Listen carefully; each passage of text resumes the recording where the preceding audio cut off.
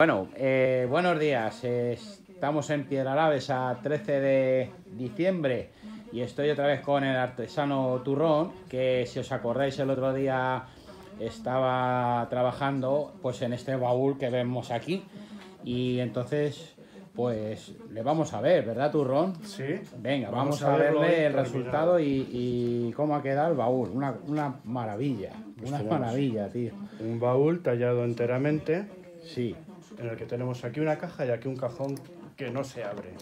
A no ser que levantamos la tapa.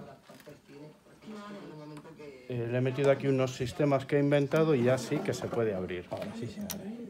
Entonces es para guardar secretos, para guardar joyas, para guardar otras cosas.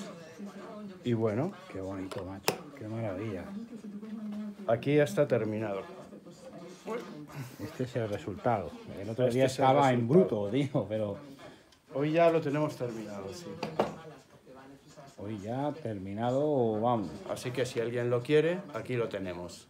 Muy bien, tío. Eres un artista y un artesano en, en toda regla. Vamos a arrimarnos un poquito más, hombre, a ver. A ver los detalles. Entonces, que este cajón no se puede abrir si no levanta la tapa. Nada, está, está pillado por el sistema. Aquí leva- levantamos la tapa, aquí tiene unos sistemitas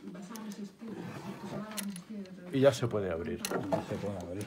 De esta forma nunca te pueden abrir, aquí va el candado, y de esta forma nunca te pueden abrir el cajón. Si lo transportas nunca se te caerá al suelo. Claro, no Bueno. abre. Muy bonito, turrón. Enhorabuena por el trabajo, hombre. Muchas gracias, Paco.